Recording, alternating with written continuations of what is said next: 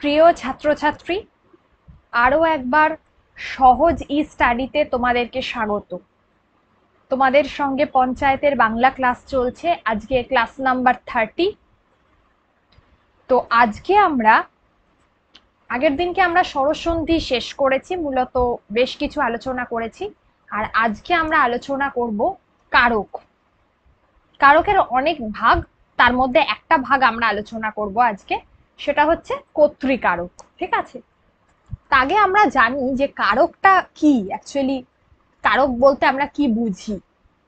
মূলত বাক্যের মধ্যে আমরা দেখেছি যে বিশেষ্য পদ থাকে, সর্বনাম পদ থাকে আর ক্রিয়াপদ থাকে। ক্রিয়াপদ মানে হচ্ছে যেটা আমি এখনও তোমাদেরকে ক্রিয়াপদটা করাইনি। ক্রিয়াপদ হচ্ছে যার সঙ্গে পদের একটা যেটাকে কাজ করা বোঝায়, তাই তো? কোনো কিছু কাজ করছে, সেটাই হলো ক্রিয়াপদ। তাহলে বাক্যে ক্রিয়াপদের সঙ্গে এই যে সর্বনাম পদ আর অথবা বিশেষ্য পদ, তার যে সম্পর্কটা অন্যয় মিন্স সম্পর্ক, থাকে, তাকেই আমরা বলছি কি? কারক। কীভাবে?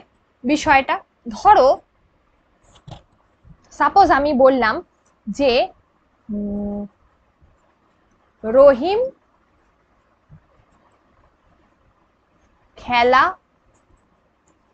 করে। তাহলে খেলা করা এটা হচ্ছে ক্রিয়াপদ।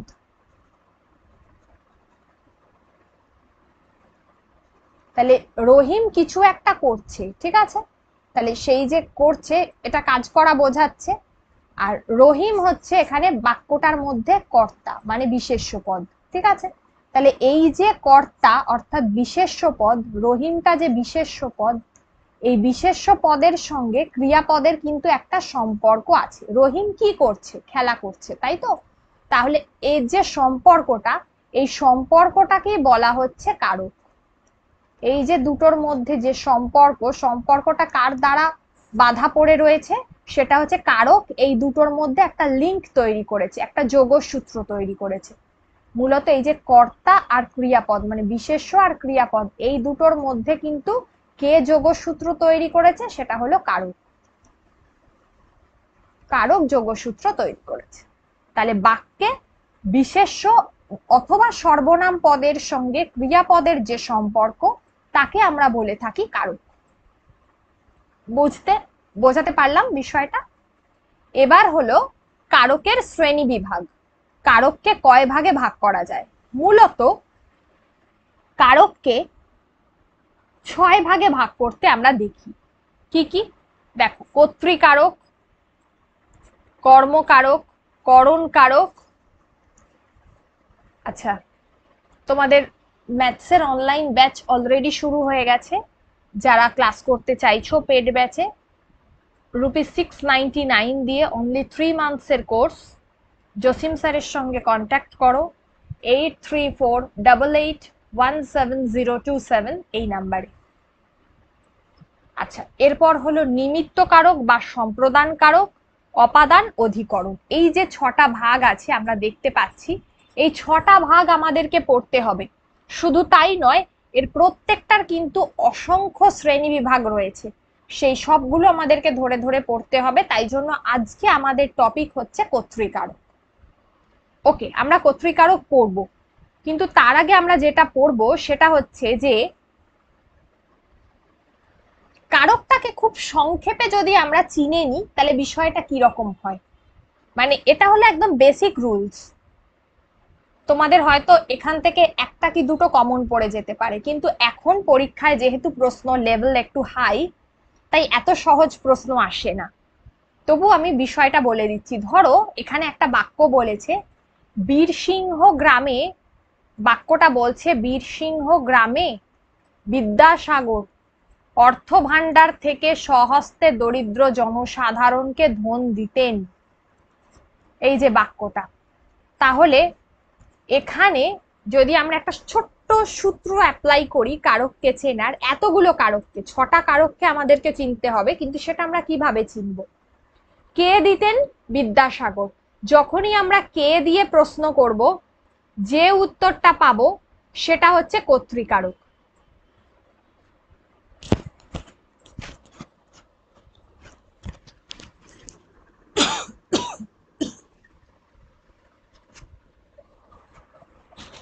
সরি তাহলে যদি ধরো কোনো একটা বাক্যের মধ্যে তুমি কে দিয়ে প্রশ্ন করছ, যে উত্তরটা পাচ্ছ সেটা হচ্ছে কর্তৃকারক। নেক্সট বাক্যের মধ্যে যদি কি দিয়ে প্রশ্ন করো, বিদ্যাসাগর কি দিতেন? ধন দিতেন। অথবা কাকে দিতেন?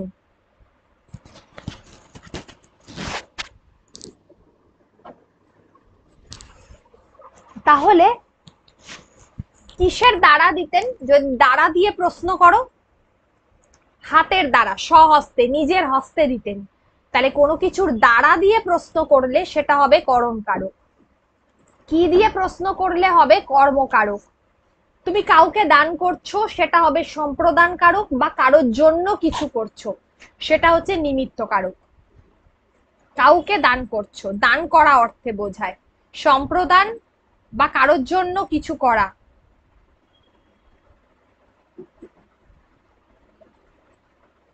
সেটা হচ্ছে নিমিত্ত বা সম্প্রদান কারক নেক্সট হচ্ছে কোথা থেকে দিতেন? কোনো একটা জায়গা থেকে দিতেন, ঠিক আছে? কোথা থেকে? থেকে বোঝালে, এই যে থেকে হচ্ছে, থেকে বোঝালে মূলত কোনো কিছু থেকে পড়ছে, কোনো কিছু থেকে দিচ্ছ, ওপর থেকে পড়ে যাচ্ছে মানে থেকে পতিত হওয়া, এগুলো হলো অপাদান কারক নেক্সট হচ্ছে কোথায় দিতেন? স্থান, সময়, কাল, বিষয়, এইগুলো বোঝালে মূলত অধিকরণ কারক হবে। তাহলে এইগুলো দিয়ে প্রশ্ন করলে যে উত্তরটা পাবো, কোন স্থানে দিচ্ছেন? কোথায়? বীরসিংহ গ্রামে। কোন সময়টাতে দিচ্ছেন? অথবা কোন বিষয়ে তিনি পারদর্শী? এইসব বোঝালে কিন্তু সেটা হবে অধিকরণ কারক ওকে? তাহলে আমরা খুব সংক্ষেপে আগে ছটা কারক কি কি দিয়ে প্রশ্ন করলে তার যে উত্তর পাওয়া যাবে বাক্যটার মধ্যে, এবার সেটাকে আমরা আইডেন্টিফাই করতে পারব যে কোনটা কি কারক। তাহলে কে দিয়ে প্রশ্ন করলে? কর্তৃকারক জিস্ট করে দিয়েছি, দেখো। কি দিয়ে প্রশ্ন করছ? কর্মকারক। আচ্ছা তারপর কোনো কিছুর দ্বারা দ্বারা বোঝালে কোনো কিছু কাজ করছ, কোনো কিছু দিয়ে কোনো কিছু কাটছো, ঠিক আছে? এইগুলো বোঝালে করণ কারক কাউকে তুমি কারোর জন্য, কোনো ব্যক্তির জন্য কিছু করছ তাহলে কারোর নিমিত্ত, ধরো কাউকে হসপিটালে নিয়ে যাচ্ছ, তাকে তার তোমার কি বলে, সেবার ব্যবস্থা করছ। এগুলো হলো কারোর জন্য কিছু করা, সেটা হবে সম্প্রদান কারক আমি আগেই বলেছি, কোথা থেকে কোনো কিছু দিচ্ছ, তাহলে সেটা হবে অপাদান কারক আর কোথায় দিয়ে প্রশ্ন করলে হবে অধিকরণ কারক আচ্ছা এইবার আমাদের যে বিষয়টা, আলোচ্য বিষয়, সেটা হলো কর্তৃকারক। আজকে আমি যেটা বলব কর্তৃ কথাটার অর্থ এক কথায় যেটা বোঝায়, সেটা হচ্ছে কি? কর্তা। বাক্যের মধ্যে প্রধান যে কাজটা করছে, এই যে কর্তৃ অর্থাৎ বাক্যের মধ্যে যে কাজটা করছে, যে ব্যক্তি কাজটা করছে, যে কাজটা করছে, একটা সেন্টেন্সে অর্থাৎ ক্রিয়াটা, কাজটা যে সম্পাদন করে, তাকে আমরা কর্তৃপদ বলি, তাই তো? যেমন রাম স্কুলে যায়। কে স্কুলে যাচ্ছে? রাম। যাওয়াটা তো তোমার ক্রিয়াপদ। তাহলে ক্রিয়াপদটা কে সম্পন্ন করছে, যাচ্ছে কে? সেটা হলো রাম। তাহলে রাম হচ্ছে এখানে কর্তৃকারক। এখানে কর্তা হলো রাম, ওকে? কিন্তু ক্রিয়াপদের অনেক এই যে ক্রিয়াপদের সঙ্গে যে কর্তার এই যে সম্পর্ক, সেটা নিয়ে মূলত কর্তৃকারককে অনেকগুলো ভাগে ভাগ করা যায়। এই প্রত্যেকটা ভাগ আমাদেরকে পড়তে হবে, তাই তো? কীভাবে পড়তে হবে? যেমন এক হচ্ছে এক হচ্ছে প্রযোজক কর্তা প্রযোজক কর্তাটা কি?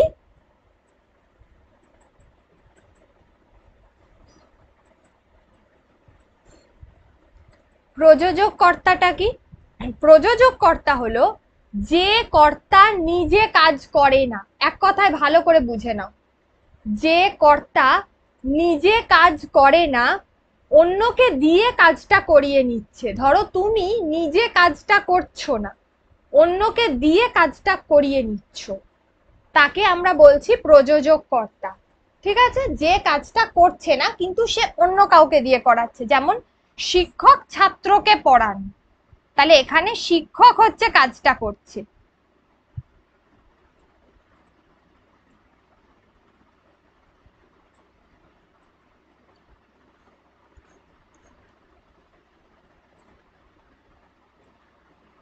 তাহলে শিক্ষক ছাত্রকে পড়ান, সেটা হচ্ছে শিক্ষক কাজটা করছে না। কাজটা পড়ার কাজটা কে করছে? ছাত্র করছে। তাহলে শিক্ষক এখানে হচ্ছে প্রযোজক কর্তা। তাহলে যে কাজটা করছে না, সে হচ্ছে শিক্ষক। যেমন ধরো আমি আরেকটা উদাহরণ দিচ্ছি, মা শিশুকে চাঁদ দেখান, ভালো করে বোঝো এগুলো।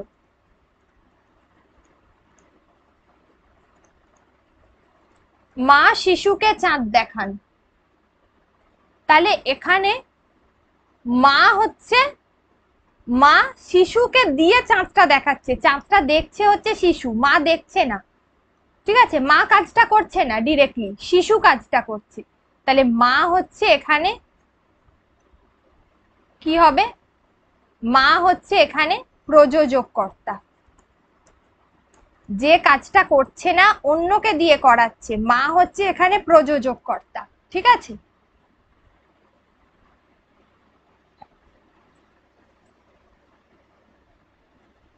মা হচ্ছে এখানে প্রযোজক কর্তা মা নিজে কাজটা করছে না। এবার আমরা যখন বলছি, আরে তাহলে প্রযোজ্য কর্তা কোনটা? প্রযোজ্য কর্তাটা হচ্ছে যে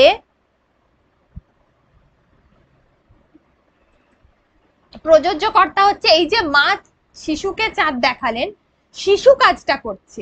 যে কাজটা করছে, সে হচ্ছে প্রযোজ্য কর্তা ভালো করে বোঝো।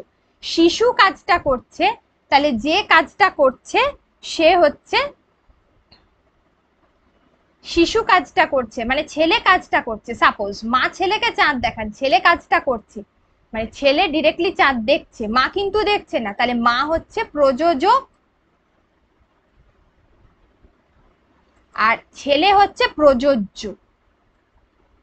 তাহলে বোঝা গেল যে কোনটা প্রযোজ্য আর কোনটা হচ্ছে প্রযোজক।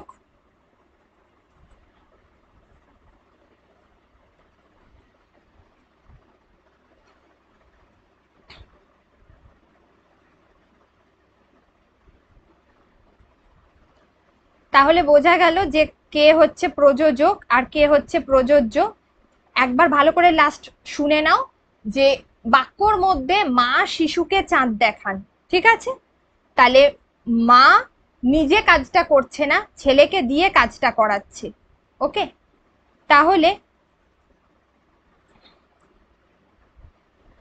মা নিজে কাজটা করছে না, ছেলেকে দিয়ে কাজটা করাচ্ছে। তাহলে মা হচ্ছে প্রযোজক কর্তা যে কাজটা করছে না, যাকে দিয়ে কাজটা করাচ্ছে সে হচ্ছে ছেলে, সে হচ্ছে প্রযোজ্য কর্তা এই হলো প্রযোজক আর প্রযোজ্যর মধ্যে তফাৎ।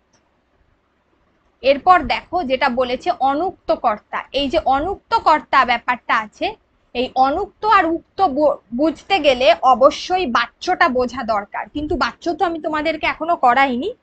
তো করাবো আমি জাস্ট একবার একবার বলে দিই। একটু বুঝে রাখো, এটা যখন বাচ্চ আমরা বুঝে যাব, তখন আরও ভালো করে বুঝতে পারব। ধরো, কোনো একটা বাক্যে কর্তাটা ডিরেক্টলি বলা নেই প্রত্যক্ষ ভাবে মানে ধরো রাম বিদ্যালয়ে যায়। একদম এখানে যে আমি বলেই দিয়েছি যে রাম বিদ্যালয়ে যায়। কিন্তু যদি আমি কথাটা বলি, যে ডিরেক্টলি কথাটা না বলে যদি আমি নাক ঘুরিয়ে বলি যে রাম কর্তৃক বিদ্যালয়ে যাওয়া হচ্ছে, রামের দ্বারা বিদ্যালয়ে যাওয়া হচ্ছে তাহলে এটা আমি ঘুরিয়ে বলছি। তাহলে এখানে যে কর্তাটা বোঝাচ্ছে, সেটা হচ্ছে অনুক্ত কর্তা। তাহলে যে বাক্যে প্রত্যক্ষভাবে কর্তাটাকে বলা নেই, আমি ঘুরিয়ে বলছি কথাটা, ঠিক আছে? যখন আমি ঘুরিয়ে বলছি, সেটা হচ্ছে মানে সেই ঘুরিয়ে বলাটাকে আমরা বলছি কর্মবাচ্যে বলছি, এক কথায়। আমরা কর্তৃবাচ্যে বলছি না, কর্মবাচ্য বা ভাববাচ্যে কথাটা বলছি। তাহলে সেটা হবে অনুক্ত কর্তা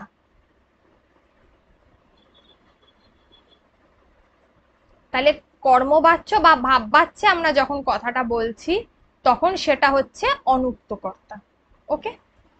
আচ্ছা এবার দেখো উক্ত কর্তা এবার যখন আমি ডিরেক্টলি কথাটা বলছি, রাম বিদ্যালয়ে যায়, রাম রাবণকে হত্যা করেছি। এখানে রাম একদম ডিরেক্টলি বলছি প্রত্যক্ষ ভাবে বলছি। তাহলে সেটা হবে উক্ত কর্তা তাহলে আশা করি চারটে ভাগ বোঝা গেছে। যদি কারোর বুঝতে অসুবিধা হয়, আমাকে অবশ্যই কমেন্ট সেকশনে কমেন্টস করবে। কি কি সেটা? প্রযোজক কর্তা প্রযোজ্য কর্তা উক্ত কর্তা আর অনুক্ত কর্তা ওকে? নেক্সট নেক্সট হচ্ছে সমধাতুজ কর্তা সমধাতুজ কর্তা বলতে কি বোঝায়? সমধাতুজ কর্তা বলতে বোঝায় যেখানে ক্রিয়াপদ এবং কর্তা। তোমরা একটা বাক্যের মধ্যে কোনটা ক্রিয়াপদ আর কোনটা কর্তা এতক্ষণে আশা করি বুঝে গেছো। এবার এই ক্রিয়াপদ আর কর্তা যখন একটাই ধাতু থেকে নিষ্পন্ন হচ্ছে বা উৎপন্ন হচ্ছে, তাকে আমরা বলব সমধাতুজ কর্তা। কীভাবে? ধরো আমি বলছি, পড়ুয়ারা চেঁচিয়ে পড়ছে। তাহলে পড়ুয়া হচ্ছে এখানে হচ্ছে কর্তা, তাই তো? পড়ুয়া হচ্ছে এখানে কর্তা। আর পড়ছে, এটাও হচ্ছে তোমার ক্রিয়া। কিন্তু এই দুটোই একটাই ধাতু থেকে এসছে। সেটা কি জানো? তোমরা তো এখনও ধাতু পড়োইনি। সেটা হচ্ছে পর ধাতু থেকে এসেছে।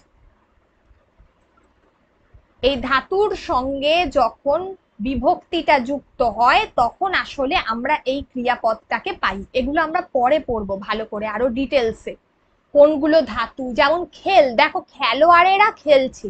এখানে একটাই ধাতু আছে, দুটোর ক্ষেত্রে। ক্রিয়াপদেও রয়েছে আর কর্তাতেও রয়েছে। সেটা কি ধাতু? সেটা হচ্ছে খেল ধাতু। খেল ধাতু।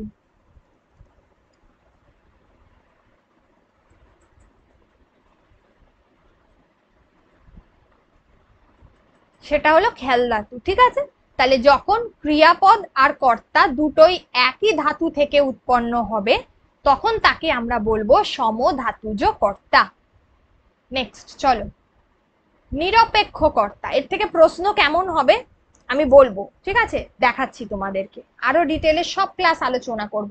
যেমন সন্ধি যেভাবে প্র্যাকটিস করিয়েছি তেমন ভাবেই ব্যঞ্জন সন্ধিও যখন করাবো এবং কারকের প্রত্যেকটা ভাগ থেকে প্র্যাকটিস করাবো। নিরপেক্ষ কর্তা কি?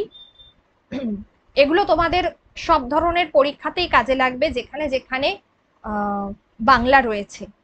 অর্থাৎ তোমাদের যেমন প্রাইমারি টেট একটা মানে ওখানে ভালো অংশে বাংলা রয়েছে। প্লাস হচ্ছে পঞ্চায়েতের পরীক্ষা আসছে সেখানে।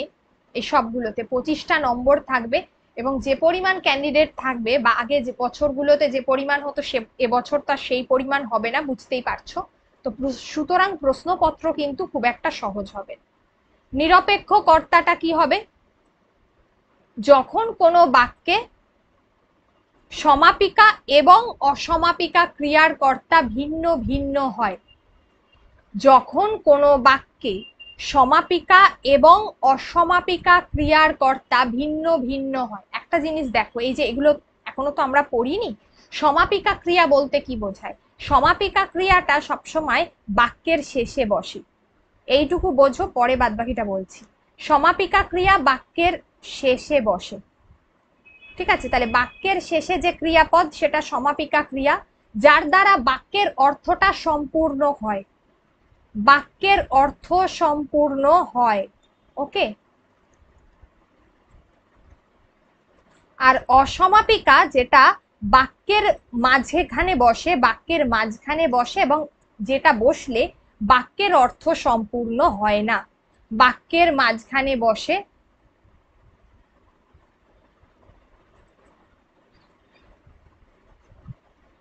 যা বসলে বাক্যের অর্থ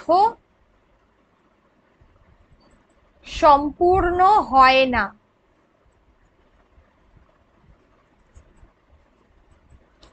সম্পূর্ণ হয় না ওকে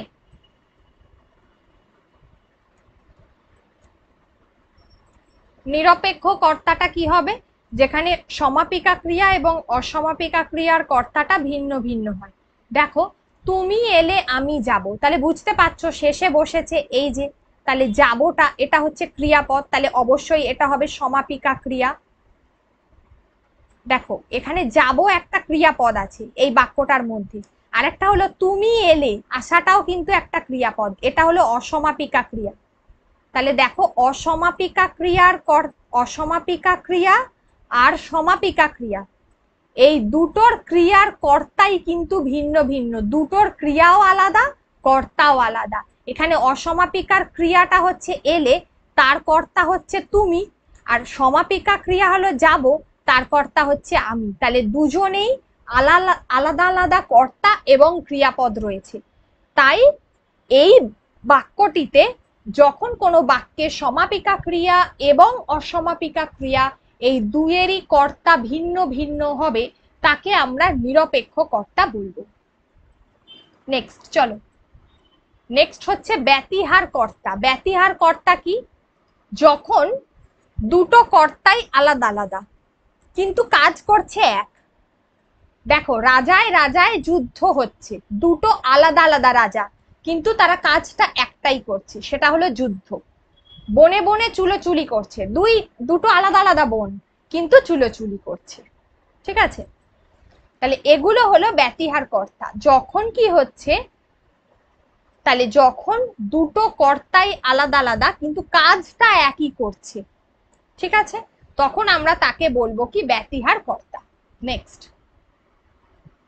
উজ্জ এই উজ্জ কর্তাটা ওই অনুক্ত কর্তা যেটা, সেটা। যেখানে আমরা দেখছি গুরুজনদেরকে শ্রদ্ধা করবে। মানে তুমি গুরুজনদেরকে শ্রদ্ধা করবে। এই শব্দটা এখানে উজ্জ তুমি বা তোমরা শব্দটা এখানে কিন্তু উজ্জ রয়েছে। ঠিক আছে? তাহলে সেটা হচ্ছে উজ্জ কর্তা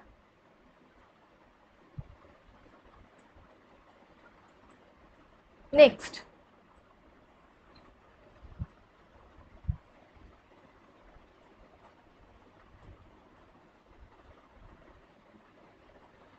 যেমন দেখো কর্তৃ এবং কর্মবাচ্যের কর্তা। কর্তৃ এবং কর্মবাচ্যের কর্তাটা কি? কর্তৃ এবং কর্মবাচ্যের কর্তা হচ্ছে যেখানে মূলত কর্তা থাকে না, কোনো ব্যক্তি নেই।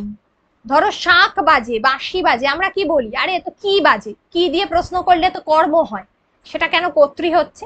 তাহলে এখানে কর্মটা কর্তার মতো আচরণ করছে। তাহলে বাঁশি বাজে, শাঁখ বাজে ঘণ্টা বাজে, এই শব্দগুলো যখনই থাকবে, এই বাক্যগুলো যখনই থাকবে, তখনই সেটা কর্ম কর্তৃবাচ্যের কর্তা হবে। মানে এখানে কর্মটাই কর্তার মতো আচরণ করছে। বাক্যে কর্মটাই প্রধান হয়ে উঠেছে।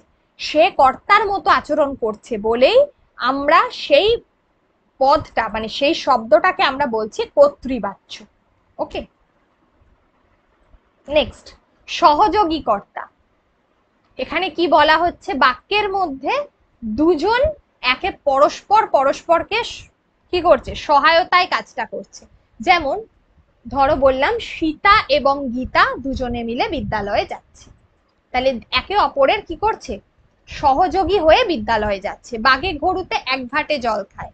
একে অপরের দুটো আলাদা আলাদা প্রাণী, কিন্তু তারা এক ঘাটে জল খাচ্ছে। ঠিক আছে? এবার হলো সাধন কর্তা যখন কোনো উপাদান বা উপকরণ কর্তৃরূপে ব্যবহার করা হয়, যেমন দেখো ঢেকি, স্বর্গে গিয়েও ধান ভানে ঢেকি, তো এটা কি হচ্ছে? একটা উপাদান বা উপকরণ, এটা কর্তা নয়। তাহলে যখন কোনো উপাদান বা উপকরণ কর্তা হিসাবে ব্যবহার করা হয়, তখন তাকে আমরা বলছি কি? সেটা হলো সাধন কর্তা ঢেকি, স্বর্গে গিয়েও ধান ভানে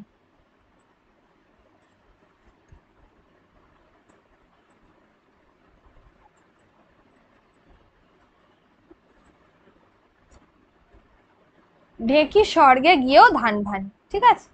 তাহলে এগুলো হলো সাধন কর্তা ধরো আমি আর একটা সাপোজ বলছি তোমার কি বলে, এক্ষেত্রে যেমন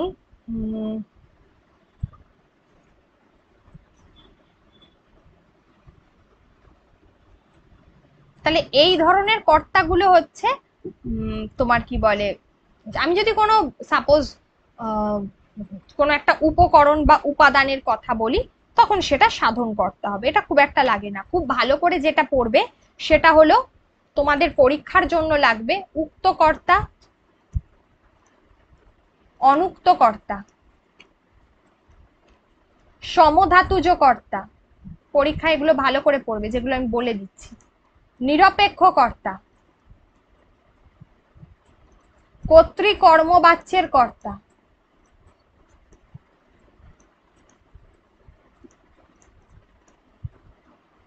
আচ্ছা প্রযোজক কর্তা প্রযোজ্য কর্তা মাস্ট প্রযোজক আর প্রযোজ্য। এইগুলো তোমরা ভালো করে পরীক্ষার জন্য অবশ্যই দেখে যাবে ওকে চলো, এবার আমরা একটু কোনটা কি কারক দেখি, কি ধরনের প্রশ্ন আসি। কলমটা লেখে ভালো। দেখো, কলম, এটা কি হবে? কি দিয়ে লিখছি? তাই তো, এখানে তোমরা বলবে, আরে কলম তো কি? তাহলে তো এটা কর্ম কারক হবে। না, এখানে কলমটা, কলম এখানে কর্তা রূপে ব্যবহার করা হয়েছে। এটা কর্ম হলেও এই কর্মটা বাক্যের মধ্যে প্রধান হয়েছে, তাই এটার উত্তর হবে কর্তা।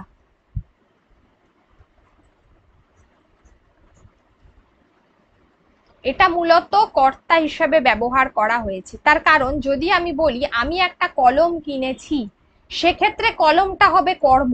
কারণ আমি কি কিনেছি? কলম। কিন্তু এখানে কলমটা দিয়েই লিখছি, কলম লেখে ভালো।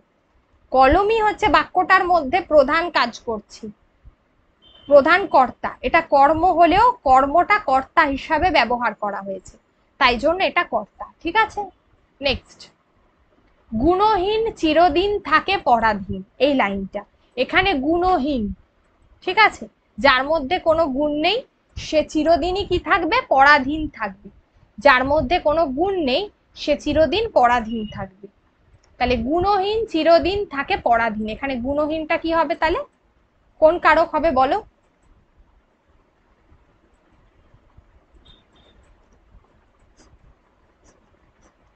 কর্তৃকারক।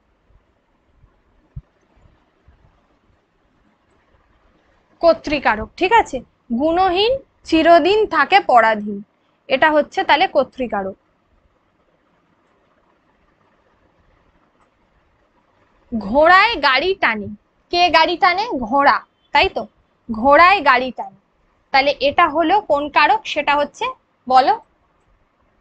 কে টানছে গাড়ি? কে দিয়ে প্রশ্ন করেছে? কে দিয়ে প্রশ্ন করলে কি হবে? উত্তর?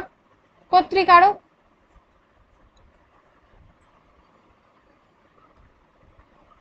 কোন বাক্যে অসমান কর্তা আছে? আচ্ছা কোন বাক্যে অসমান কর্তা বলতে কি বোঝো? অসমান কর্তা তোমরা জানো না। তোমরা জানো, কিন্তু এটার একটা অন্য নাম জানো। যে বাক্যে দেখো, প্রথম বাক্যটা দেখো, সে যেতে যেতে থেমে গেল। একটাই কর্তা আছে, সে। বালিকাটি গান করে চলে গেল। একটাই কর্তা, বালিকা গান করে চলে গেল। তাহলে প্রথম দুটো হবে কি? হবে না। পরেরটা দেখো, সে কেঁদে কেঁদে বলল সে কেঁদে কেঁদে বলল, সব একটা করে কর্তা আছে, এগুলো হবে না। এখানে অসমান কর্তা মানে দুটো কর্তা আছে। যেটা আমরা কি জানি? নিরপেক্ষ কর্তা, তাই না? যেখানে বা তোমার কি বলে, সে এলে আমি যাব। তাহলে কি এখানে যেটা আগে বলেছিলাম, যে সমাপিকা ক্রিয়া আর অসমাপিকা ক্রিয়া, এই দুটোরই কর্তা আলাদা আলাদা হবে। সেটাই হচ্ছে অসমান কর্তা। ঠিক আছে? দুটো আলাদা আলাদা কর্তা আছে, তাহলে দুটো কর্তা আছে বলে উত্তর হবে ডি এক্ষেত্রে। আর এর আরেকটা নাম কি? সেটার আরেকটা নাম হচ্ছে নিরপেক্ষ কর্তা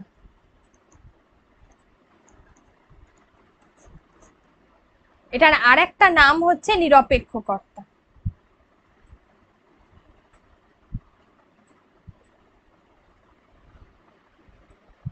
সেটা হচ্ছে চারের ডি।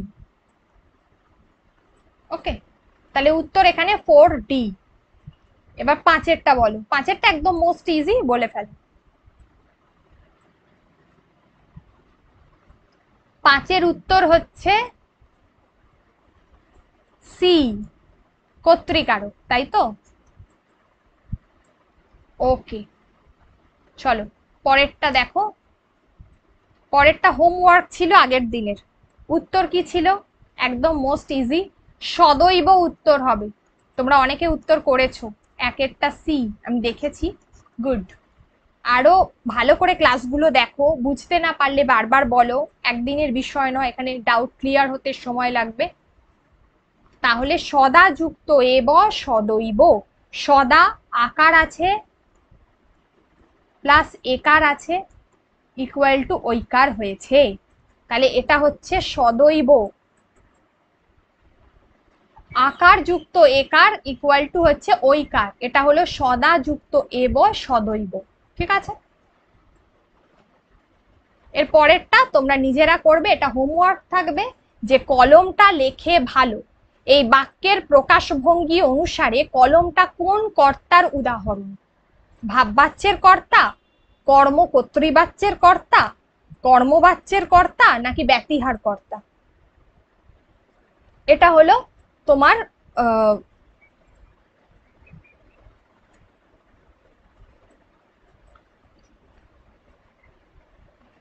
তাহলে এটা কি হবে সেটা তোমরা আমাকে আনসারটা করো। আর অবশ্যই আমি তোমাদের থেকে জেনে নেব যে কেন হচ্ছে উত্তরটা। কারণ আমরা ব্যাকরণ সবসময় মুখস্থ করব না। যদি আমরা এক্সপ্লেনেশনগুলো বুঝে যাই, সেটাকে যদি আমরা ফর্মুলা হিসেবে মাথার ভেতর ঢুকিয়ে নিতে পারি, তাহলে কিন্তু আর আমাদের সেটা বাইরে বেরোবেও না আমরা ভুলও করে আসব না। আর যদি আমরা মুখস্থ করি না বুঝে, তাহলে আমরা ক্রমাগত ভুলে যাব বা উল্টো পাল্টা ভুল করে আসব। চলো নেক্সট আজকের ক্লাস এই পর্যন্ত। নেক্সট দিন আমরা আবার একটু ব্যঞ্জন সন্ধি আলোচনা করব, তারপরে আবার কারুকে আসব। ঠিক আছে? অনেকগুলো নিয়ম আছে, ভালো করে বোঝো। সকলকে থ্যাংক ইউ খুব ভালো থাকো। আর ভালো লাগলে পরের ক্লাসগুলো যদি তোমরা দেখতে চাও, তাহলে চ্যানেলটাকে প্লিজ সাবস্ক্রাইব করে দিও। Good night. Tata.